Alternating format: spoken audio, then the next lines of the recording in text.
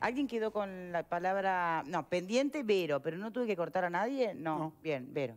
Bueno, me remito a, a una discusión que teníamos hace algunos días atrás cuando conocíamos aquella carta de, bueno, quienes violaron los derechos humanos y hoy están detenidos en la cárcel este, ah, que pedían para ir a sus casas por miedo a COVID, es Que pedían eh, domiciliaria porque decían que tenían un riesgo sanitario por miedo a COVID. Ahora se pueden quedar tranquilos porque los van a vacunar, no tienen yo, No, yo lo que decía era, ¿qué es lo que estamos evaluando acá? ¿Estamos evaluando quiénes son las personas que hacen este pedido o estamos evaluando el riesgo sanitario que tienen? Una vez que son reclusos, están bajo la tutela del Estado uruguayo, la tutela directa del Estado uruguayo.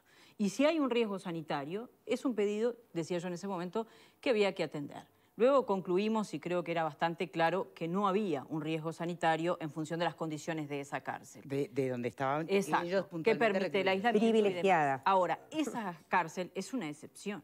El resto de las cárceles uruguayas tiene una situación sanitaria que, hace que esto sea este, prioridad. Pero además no es solamente una cuestión de decir, bueno, que ellos no se enfermen. Recordemos que en Uruguay no existe un hospital penitenciario. O sea que si mm. una persona tiene COVID dentro de un centro de reclusión, me imagino que lo que está previsto desde el punto de vista sanitario es trasladarlo a cualquiera de los centros de referencia a COVID o a cualquiera de las instituciones que atienden a quienes están enfermos. O sea que van a ir a ocupar una cama de CTI que cualquiera de nosotros podría ocupar. Así que mm, el desafío del sistema sanitario es uno no importa desde donde tú venís, en un sistema integrado como el que tenemos nosotros, donde las camas de hospital son finitas y es el gran desafío que tenemos, los recursos humanos y los recursos materiales, cómo distribuirlos en este contexto de pandemia, tenemos que tener una mirada inteligente sobre el asunto. Además de una mirada que atienda los derechos humanos de todos los reclusos, una mirada inteligente que se fundamente en lo sanitario.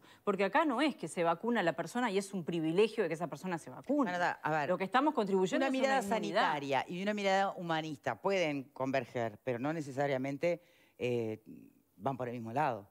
Bueno, pero en este caso van por el mismo lado. Ah, por eso digo, pueden converger, pero no necesariamente nos pueden priorizar. A ver, nos va, eh, ¿nos vamos a preocupar sobre el delito que esta persona cometió o nos vamos a preocupar por el riesgo sanitario que implica? Si tú me decís, mira, cometió un delito grave, pero en realidad está aislado, esta persona no tiene contacto con nadie porque están en celdas que son únicas y entonces no hay riesgo sanitario de que explote. Ah, entonces no es una cuestión de mirada humanista, es una cuestión de mirada sanitaria. bueno, pero que lo primero...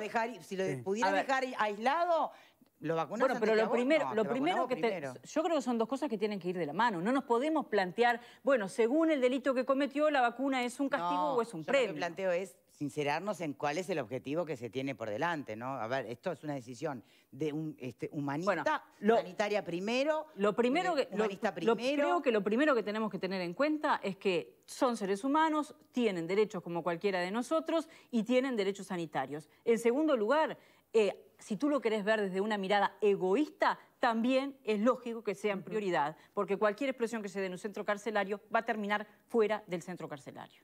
Es que creo que eso, es lo que está, eso, es lo que está, midiendo el GACH, me parece. Acá no estamos hablando de si son buenos o son malos los que están privados de libertad. Eso para está la justicia, el, claro. El planteo inicial eh, era otro, cuando decíamos muchas veces, eh, es lógico que hasta parezca una cuestión de egoísmo que diga, bueno, como ellos primero que otros grupos que tal vez tienen otros Pero entonces ahí ponemos siempre todo dentro de la misma bolsa. Yo te entiendo lo que me decís. Se pone, todo, se, pone todo, dentro de la misma bolsa y entonces, no, como cometió un delito, mejor que se muere. Para eso entramos con una metralleta y lo matamos y listo, y terminamos Sí, pero sigue apareciendo. Apareció con la carta de, los represores y aparece ahora también el razonamiento de por qué ellos. La carta de los represores es un mamarracho, una vergüenza, que tengan miedo del COVID cuando están, cuando están en, habitaciones Pero, pero ¿cuál era el fundamento? El fundamento es ese. No es el fundamento, ah, como fueron torturadores y violadores de los derechos humanos, hoy no tienen derecho a decir nada. Son cosas distintas. No, está bien. Ni siquiera tendrían derecho a estar donde están, sino que tendrían que ah, estar en una cárcel de está bien. Que esa, es otra, esa es otra, discusión. yo estoy, yo estoy de acuerdo derechos humanos de toda la sociedad, pero también,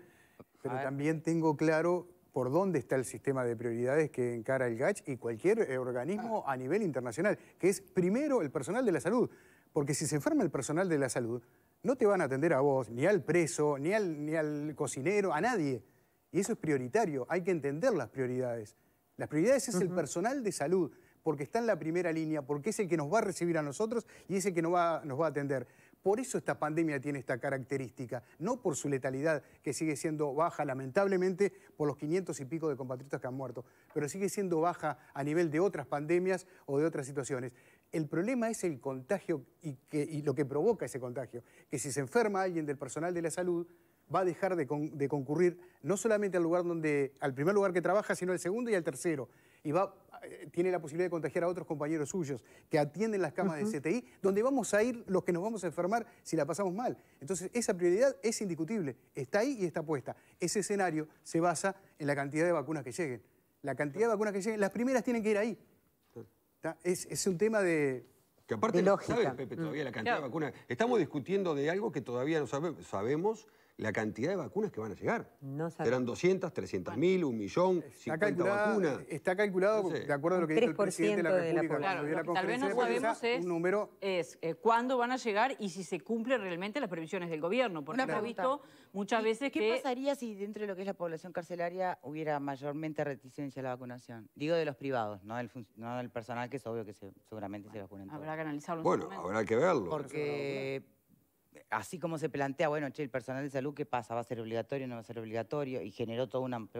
Acá no se preguntarían lo mismo. Porque si se están priorizando por entender que son un vector de contagio clarísimo, bueno, pero entonces... sí, eh, habría que verlo. o habrá una... ¿Cómo se va a implementar esto? Que entonces sí, efectivamente... De todas maneras, por lo que te decía Petit Victoria, no parece ser un problema. no da la sensación de que la gran mayoría de los reclusos digan, ah, yo no me vacuno. Este, de hecho, creo que lo que hemos visto desde el principio es que el sistema carcelario respondió y respondió porque muchas veces este, y fundamentalmente los propios reclusos siguieron dentro de las posibilidades que tenían mm. las medidas. Eh, recordemos que en algunos centros de reclusión los propios reclusos fueron los que sugirieron en acuerdo con las autoridades, o sea, aceptaron en acuerdo con las autoridades no recibir visitas como medida de prevención. O sea que creo que ese problema hoy no parece ser un problema de agenda. Eh, está claro que manejaron bien las cosas allí, porque como dice Vero, el tema de la visita, y lo otro es cero movilidad, por la razón del artillero, obviamente. Son presos, no se van a mover del lugar donde están. Que, no, ojo, que no es un detalle menor, ¿no? Porque no recibir eh, visita para una persona ah, privada de libertad es lo máximo que tiene la mayor pena. Es, lo máximo que tiene es su visita una vez por semana y demás. No recibirla y llegar a esa solución de no recibirla por un tema sanitario es algo que es bastante loable, ¿no? O por lo menos que muestra conciencia de cuál es la situación o por lo menos la conciencia que tienen ellos. Aparte los uruguayos nos quejamos de todo, porque cuando, teníamos, cuando no teníamos la vacuna porque no la tenemos, cuando viene la vacuna porque viene pero no se sabe bien qué calidad es. Entonces, no se sabe, después cuando va a venir no se sabe bien la fecha y entonces nos quejamos de eso. Después hay otros que no se la quieren dar porque dicen que es buena, que es mala y otros que dicen que es la pandemia. Estamos peleando todo el tiempo por las vacunas. ¿eh? No, hablemos, de la calidad, no hablemos de la calidad somos así, ¿no? podemos llevar a confusión. todas las vacunas todas las vacunas que van a este país son todas iguales. Son, todas, buenas y recomendables. Con distintas técnicas. Unas son las tradicionales y otras la del ARN mensajero, pero son todas buenas. Creo que la prioridad ahora es que lleguen y que se cumplan las previsiones del gobierno respecto a la cantidad de dosis que cada uno de los laboratorios y los mecanismos se eh, comprometió a entregar porque vemos que en muchos países hay compromisos y después hay dificultades para que los laboratorios cumplan con esas dosis. Hay un mensaje, me parece genial, si está hecho con humor es genial. Eh, ya que ahora todos quieren ser los primeros, que pongan obligatoria la vacuna y listo. Claro, está bien. Sí, porque lo que tiene... No sé si está hecho con humor Sin embargo, creo que la decisión del gobierno de que no sea obligatoria es una decisión sensata. Está muy bien lo que... bueno, en el mundo está haciendo así.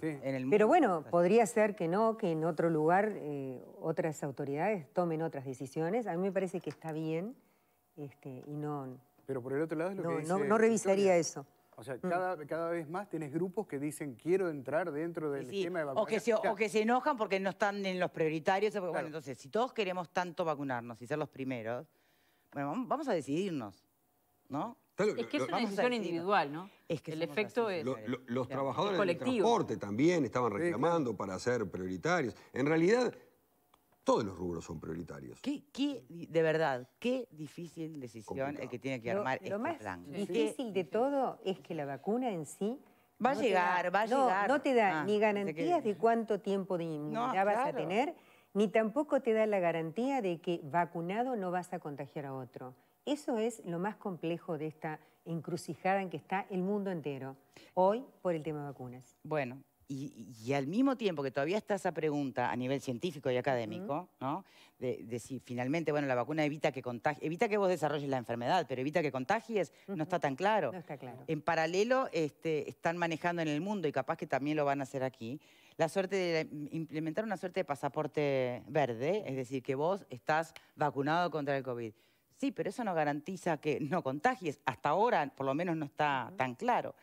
En fin, de verdad. Eh, muy, muy difícil estos desafíos para toda la sociedad en general, pero ni que hablar para quienes tienen eh, la responsabilidad de tomar las decisiones, ¿no? Y establecer las prioridades. Bien, lo, mínimo que podemos hacer nosotros es no, no ser estorbos en el camino, sino tratar de estar al servicio de la difusión de la información lo más veraz posible. Cambiamos de tema, ¿les parece?